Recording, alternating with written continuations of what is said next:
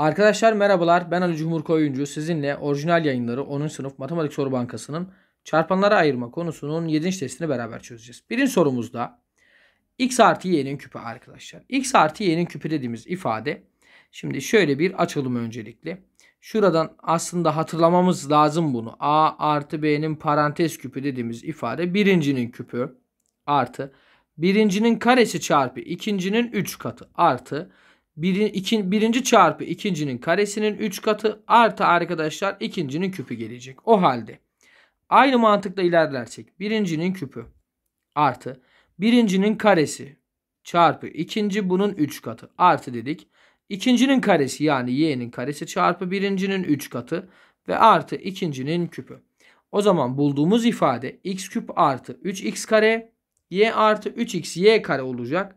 Artı bir de y küpümüz gelecek arkadaşlar. Bunu bize söyleyen hangisi bakıyoruz? E şıkkı diyoruz. Geldik ikinci sorumuza arkadaşlar. x eksi 1'in küpü diyor.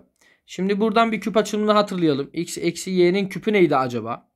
Birincinin küpü değil mi? Sonra ne diyorduk arkadaşlar? 3x kare y'ydi. Toplamda yazdığımız gibi. 3x y'nin karesi ve y'nin küpüydü. Burada işarette arkadaşlar biz ne yapıyorduk? Şuradan eksiyle artıyla eksiyle başlıyoruz. Ya da birincinin küpü eksi. Birincinin karesi çarpı ikincinin 3 katı artı. Birinci çarpı ikincinin karesi çarpı 3. Eksi ikincinin küpü diyeceğiz. Buradan sadece y yerine 1 yazmamız lazım. Bu da x eksi 1'in küpü gelecektir. x'in küpü eksi arkadaşlar ne diyoruz buradan? 3 çarpı x'in neyi geldi bizim için? Karesi çarpı 1 geldi. Ne diyoruz? Artı 3 çarpı arkadaşlar x çarpı 1'in karesi ve eksi 1'in küpü diyoruz. Biraz daha düzenlersek x küp eksi 3x kare artı 3x eksi 1 gelecek. Bulduğumuz ifade arkadaşlar hangisinde bakıyoruz? D şıkkında gibi duruyor. x küp eksi 3x kare artı 3x eksi 1 gelecektir. O zaman cevabımız D şıkkı oluyor. Üçüncü sorumuz arkadaşlar. Yukarıda verilen eşitliklerden hangileri doğrudur demiş. Şimdi birinci öncülümüzü şurada yazalım arkadaşlar. X artı 2'nin küpü diyor değil mi? Hemen x artı 2'nin neyi? Küpü. Birincinin küpü artı birincinin karesi çarpı ikincinin 3 katı değil mi? Artı. Arkadaşlar diyor ki ikincinin karesiydi. Yani 2'nin karesi 4 çarpı. Birinci x'ti. Bunun neyi? 3 katı. Artı ikincinin küpü yani 2'nin küpü 8. Bunu da biz x küp artı 3 ile 2'yi çarparsam 6x kare. 3 ile 4'ü çarparsam 12x artı 8 gelecek. Bakıyoruz. Doğru mu? X küp artı 6x kare artı 12x artı 8 arkadaşlar. Birinci öncülümüz dolayısıyla doğrudur. Şimdi bir kesin doğru dedik. Geldik şuraya 2'ye. Diyor ki bize arkadaşlar 2x eksi 1'in neyi? Küpü. Bakın.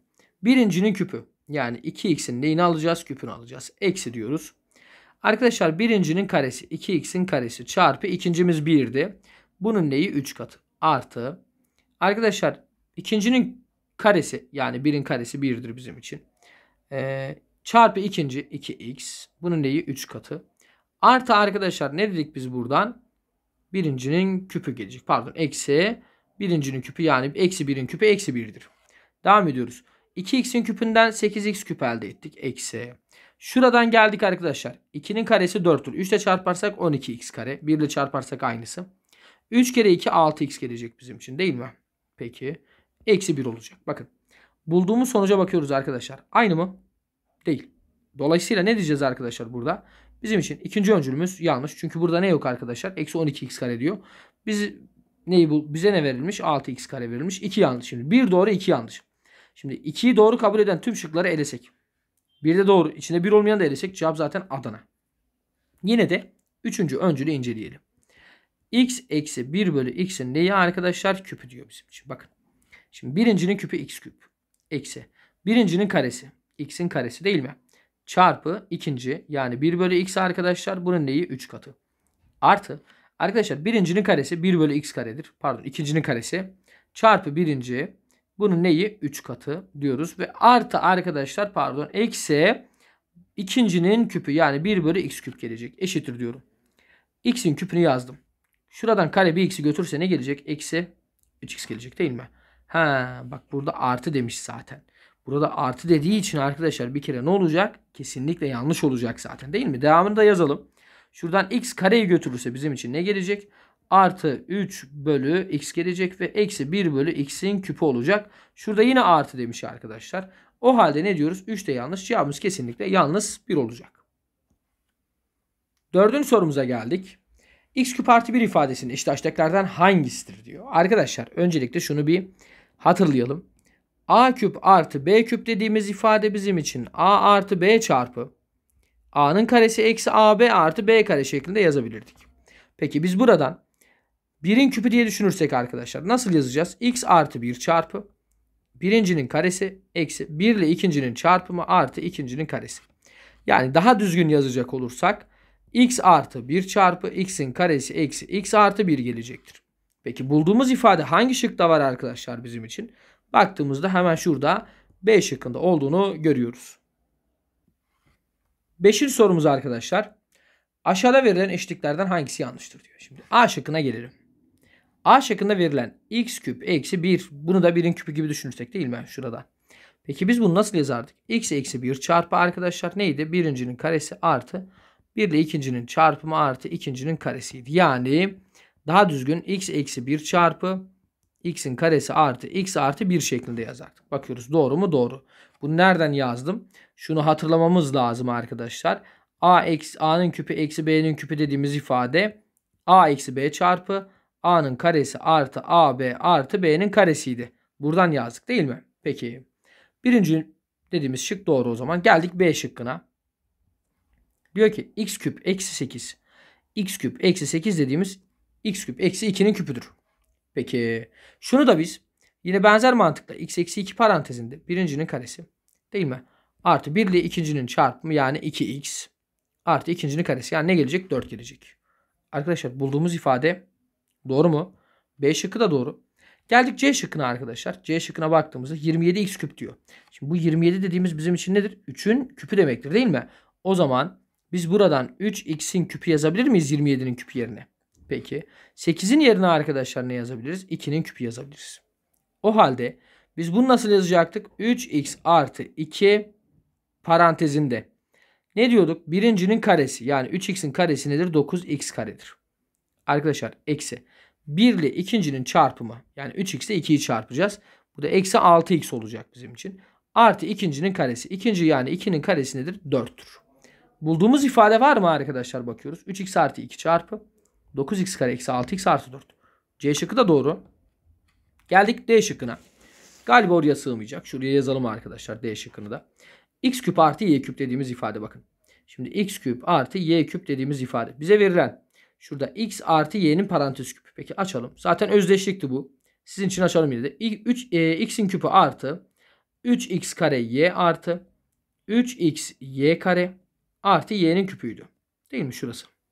Şuradan eksi 3x'i içeri dağıtırsak bakın. Eksi 3x y'yi. Eksi 3xy ile biz x'i çarparsak 3x kare y gelecek. Şurayla da y'yi çarparsak eksi 3x y'nin karesi gelecek.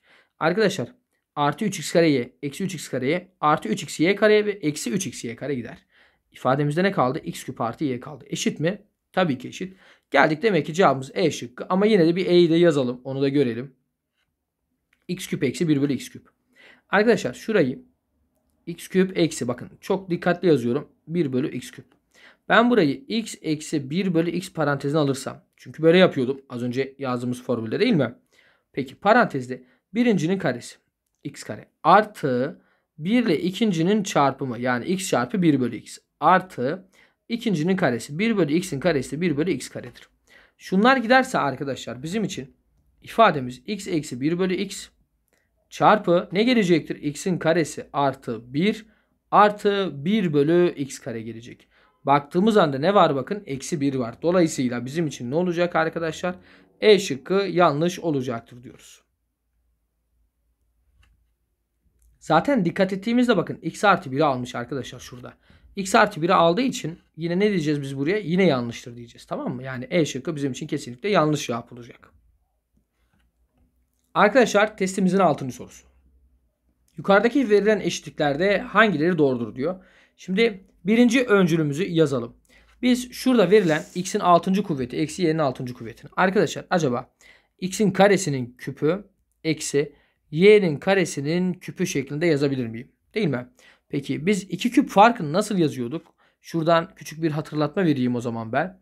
Diyorduk ki arkadaşlar bizim için burada e, kare iki küp farkı yani a'nın küpü eksi b'nin küpü neydi? a eksi b çarpı a'nın karesi artı ab artı b'nin karesiydi. Peki şuraya geldik. Arkadaşlar küp farkında o zaman ne diyeceğiz? x kare eksi y'nin karesi parantezinde. Değil mi? Birincinin karesi yani x karenin karesi nedir? x'in dördüncü kuvveti. Çarpı ya pardon artı x kare ile y kareyi çarpacağız. Yani 1 ile ikinci çarpımı. x'in karesi çarpı y'nin karesi. Artı arkadaşlar neydi? İkincinin karesi. Yani y'nin karesinin karesi nedir? y'nin dördüncü kuvvetidir. Şuradan ne yaptık? y'nin karesinin karesi neydi? y'nin dördüncü kuvvetidir. O yüzden yazdık. Bulduğumuz ifade eşit mi? Kesinlikle eşit. O zaman bir kesinlikle doğrudur. Geldik ikinci öncüle arkadaşlar. Bize verilen ifadeye baktığımızda bakın. x kök x artı y kök y eşittir. x artı y çarpı x eksi kök y kök x y artı y verilmiş bize. Şimdi bir kere bakın ikinci öncülde arkadaşlar bizim yapmamız gereken tek şey x ile x'i çarparsak bize neyi verecektir? x'in karesini verecek. Bakın. x ile şurayı çarparsak eksi hatta şuraya yazalım. Dedi ki şuraya yazalım arkadaşlar. Şuradan x ile x'i çarparsak ne verecek? x'in karesi verecek. Bakın hiç ay ayırmaya bile gerek yok. İzleyelim. x ile eksi kök x y'yi çarparsam eksi x kök x y gelecek benim için. Şuradan x ile de y'yi çarparsam artı x y gelecek. Devam ediyoruz bakın. Sıra neydi? Y'de. Y ile x'i çarparsak artı y çarpı x.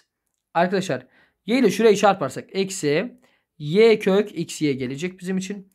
Ve y ile de y'yi çarparsak artı y'nin karesi olacak. Bulduğumuz ifade bize verilen ifadeye eşit olur mu hiç? x kök x artı arkadaşlar ne verilmiş? y kök y verilmiş. Alakası yok diyoruz. Bunlar eşit olamaz. Dolayısıyla ikinci öncülümüz yanlış olacak. Bir doğru iki yanlış arkadaşlar. Devam ediyoruz. Geldik üçüncü öncülümüze bakın.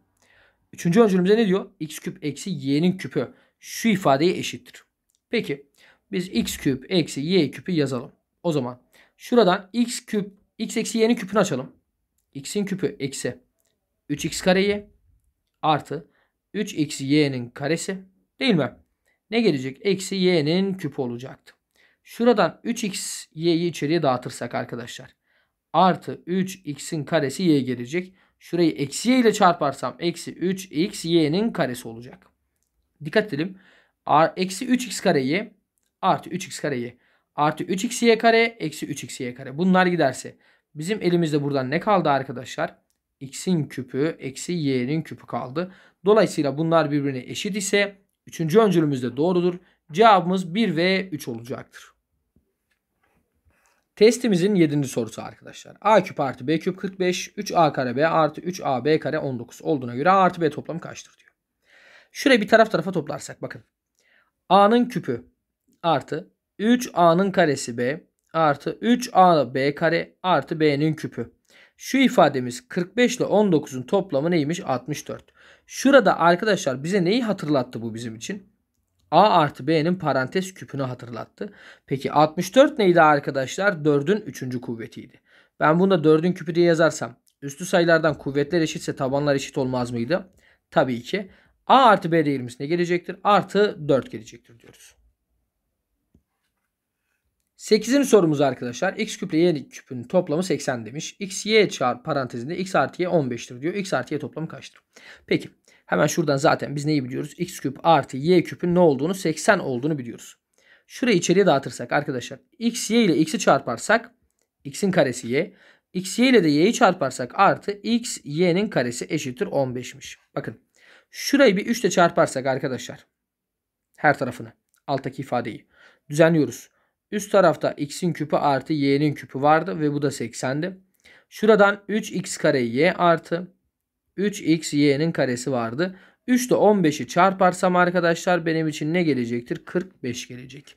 Şurayı bir taraf tarafa topladığımızda x küp artı 3x kare y artı 3x y kare artı y'nin küpü.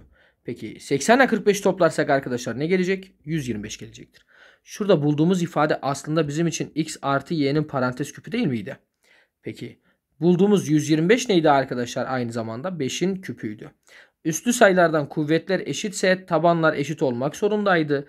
Bizim x artı y dediğimiz değer buradan ne gelecektir arkadaşlar? Artı 5 gelecektir. Testimizin 9. sorusu.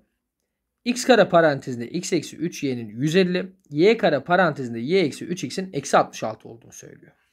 x eksi y farkı kaçmış? Arkadaşlar şurayı bir içeriye dağıtırsak bakın. Ne gelecek? x'in küpü eksi 3x'in karesi y gelecek ve bu da 150'ymiş bizim için. Şurayı içeriye dağıtırsak y'nin küpü eksi 3x y'nin karesi gelecek ve bu da eksi 66'ymış. Alt tarafı bir eksiyle çarparsak bakın iyi izleyelim. Üsttekini yazdık x küp eksi 3x kare y. Bu da neydi? 150 idi. Eksiyle çarptık arkadaşlar. Eksi y'nin küpü artı 3x y kare gelecek ve bu da ne olacak? Eksiyle çarparsam artı 66 olacak. Taraf tarafa topladığımızda x'in küpü eksi 3x kare y artı 3x y'nin karesi eksi y'nin küpü. 150 ile 66'yı toplarsak 216 olacak. Şurası bize yine neyi hatırlattı?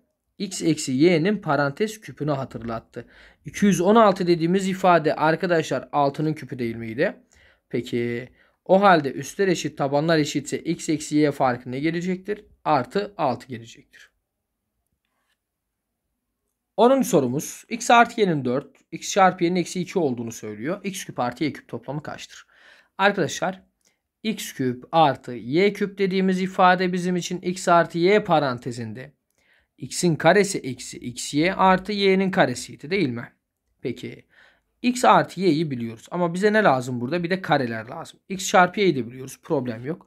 Kare olması için her tarafın neyini almamız lazım? Karesini almamız lazım. Şuradan birincinin karesi artı 1 ile ikincinin çarpımının 2 katı 2xy artı ikincinin karesi. Bu da ne geldi? 16 geldi. Xy çarpımı neydi bizim için? Şurası eksi 2 idi. 2 ile eksi 2'yi çarparsak eksi 4. Şuraya atarsak arkadaşlar ne gelecek bizim için? Artı 4 gelecektir. Ve x'in karesi artı y'nin karesi dediğimiz ifade 20 olacak. Peki biz burayı da bulduk artık. Getirip yerine yazmak kaldı. x artı y'miz 4 çarpı.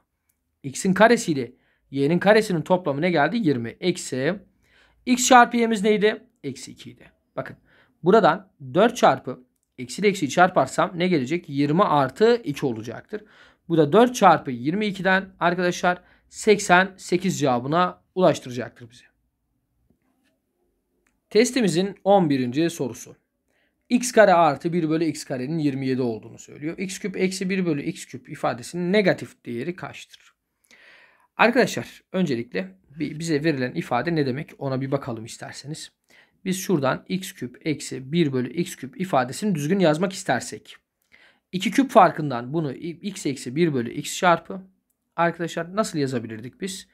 Ee, x'in karesi değil mi? Artı x çarpı 1 bölü x yani birincinin karesi çarpı 1 ile ikinci artı ikincinin karesi 1 bölü x'in karesi.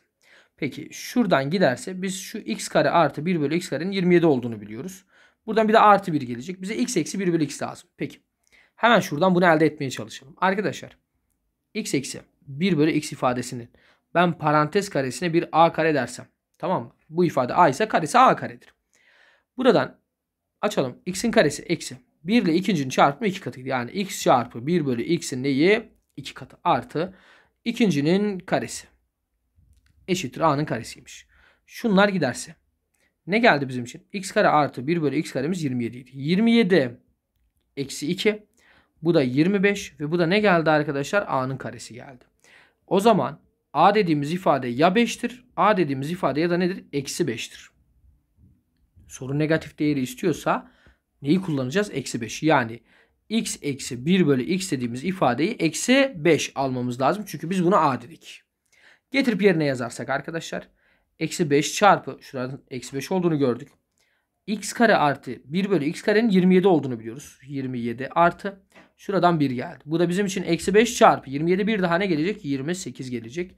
Şurayı da çarparsak 100 e, 5 kere 8 40 galiba 140 geliyor. Eksi 140 olacaktır cevabımız.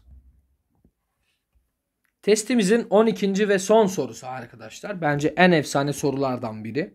2020'nin küpü artı 1 bölü 2020'nin karesi eksi 2019 işleminin sonucu kaçtır diyor. Şimdi şuradan küçük bir hatırlatma verelim tekrar. A küp artı B küp dediğimiz ifade bizim için A artı B parantezinde A'nın karesi eksi AB artı B'nin karesiydi. Arkadaşlar şuradan bakın iyi izlersek 2020'nin küpü artı 1'in küpü gibi düşüneceğiz. O zaman şuraya yazalım. 2020'nin neyi? Küpü artı 1'in küpü. Şimdi dedik ki 2020 artı 1 diye yazacağım. A artı B değil mi? Peki. Parantezimi açtım diğerine. 2020'nin neyi? Karesi. Eksi 2020 çarpı 1 gelecek ve artı 1'in karesi olacak.